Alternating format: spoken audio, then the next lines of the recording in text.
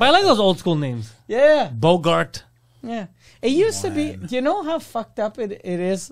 Like uh, when I started doing comedy, how easy it was to do crowd work. You used to go, "What's your name?" and it was always Steve, Bill, or Dave. And now it's always a, a name. You're like, "Oh Jesus, how do how do you pronounce that?"